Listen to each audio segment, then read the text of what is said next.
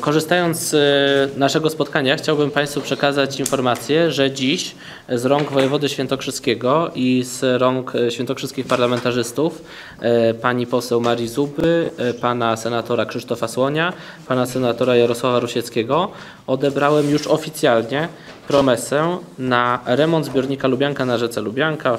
E, chodzi tak naprawdę o jaz wodny. Dokładna kwota dofinansowania wynosi 2 163 tysiące, co stanowi 80% przewidywanych kosztów remontu jazu na zbiorniku Lubianka.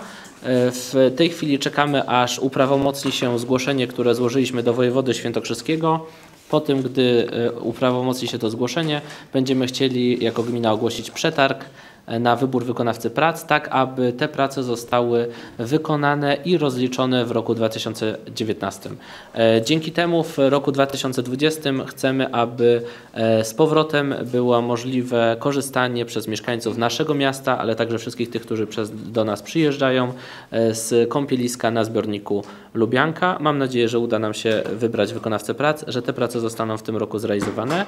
I Szanowni Państwo, chciałbym powiedzieć, że bez tego dofinansowania nie byłoby możliwe, aby gmina wygospodarowała tak dużą kwotę na wykonanie remontu jazu wodnego. Kilkaset tysięcy złotych na ostatniej sesji Rady Miejskiej zostało zabezpieczonych w uchwale, którą przygotowałem na wkład własny. Kilkaset tysięcy. To jest ogromna kwota, dlatego że nie mieliśmy jej przewidzianej wcześniej w budżecie. Musieliśmy ją wygospodarować z innych zadań, które w tym roku niestety z różnych względów nie zostaną zrealizowane. Dzięki temu możemy realizować to zadanie przy ogromnym dofinansowaniu ze środków zewnętrznych. 80% to jest naprawdę bardzo, bardzo dużo. Ze środków rządowych również w tym roku realizujemy remonty czterech ulic, na które otworzyliśmy oferty. To jest ulica Stroma, ulica Podlesie od ulicy Łącznej do ulicy Smugowej, ulica Żytnia na całej długości i ulica na Szlakowisku.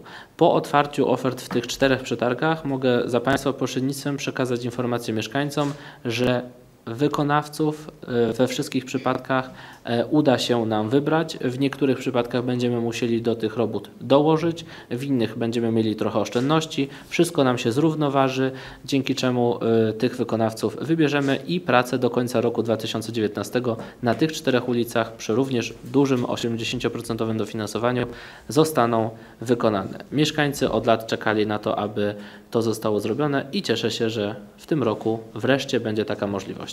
W przypadku kolejnych ulic, w przypadku kolejnych inwestycji będziemy się starali o środki z różnych źródeł, innymi z Funduszu Dróg Samorządowych, ale też z rezerw ministerialnych, tak aby kolejne inwestycje w naszym mieście mogły być realizowane. Pan wójt Mirosław Seweryn również dziś odebrał promesę na remont jednej z dróg na terenie swojej gminy, na kilka wniosków z terenu całego województwa, które uzyskały z tych oszczędności kolejne środki, aż dwa samorządy są z powiatu starowickiego i tutaj podziękowania dla wojewody świętokrzyskiego pani Agaty Wojtyszek za to, że ta współpraca na linii urząd wojewódzki urzędy gmin, ale także powiatów wygląda naprawdę bardzo, bardzo dobrze.